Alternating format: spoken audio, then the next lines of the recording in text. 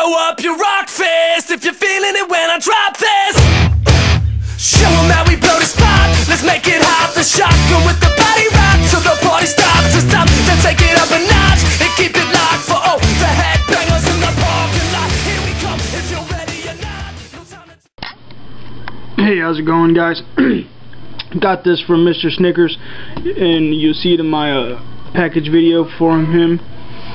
And I opened it, took out the shrink wrap, popped the sucker out, and almost shit my pants.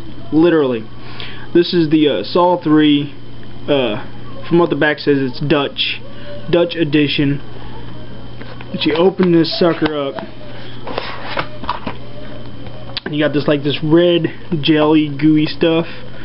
But then I, I slid this damn thing off, and bam! It's a freaking steelbook. I did not believe that shit. I literally almost shit my pants.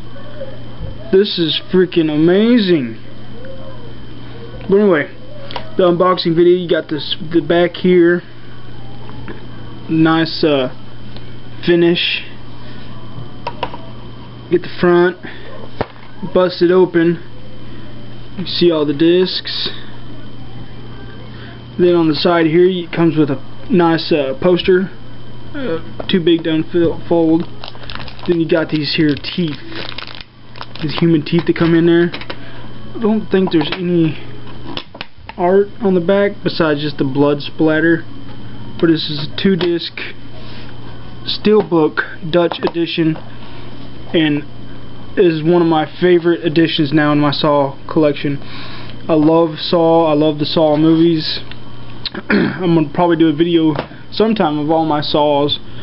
Uh, but yeah, get the front here, it's a nice, nice gloss. Comes with the poster, a real nice slip with the gel. So that's the unboxing guys. Thanks again Bill, man, this thing is amazing. I love it, dude. Take care, guys.